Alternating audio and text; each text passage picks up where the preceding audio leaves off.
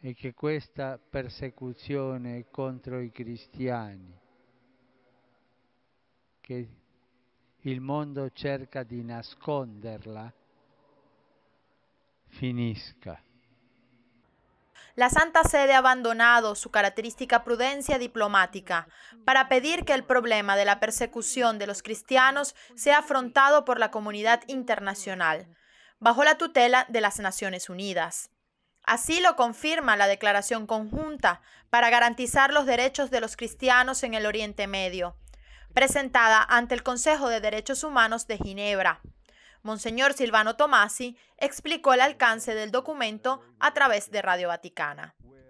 Si cercano due strade diverse per arrivare a delle soluzioni. La prima è di sensibilizzare la comunità internazionale sui diritti umani di tutte queste categorie di persone, di queste comunità. E poi si cerca anche a livello informale, alcuni stati importanti come la Russia e gli Stati Uniti, di creare dei colloqui informali dove al di là del diritto di veto che può esserci per esempio nel Consiglio di sicurezza, si possa cercare dei compromessi, delle formule nuove per eh, arrivare a stabilire un cessate il fuoco, cioè di far smettere finalmente la violenza che tormenta da più di quattro anni questa regione.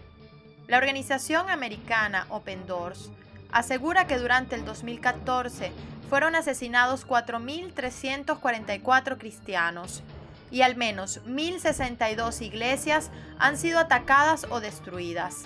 Y solo en Siria, 700.000 personas han tenido que abandonar sus casas desde el año 2011.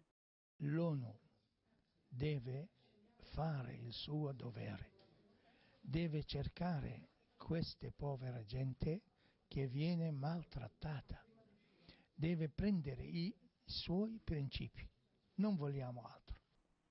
La declaración conjunta, presentada por la Santa Sede, está firmada por la Federación Rusa y Líbano.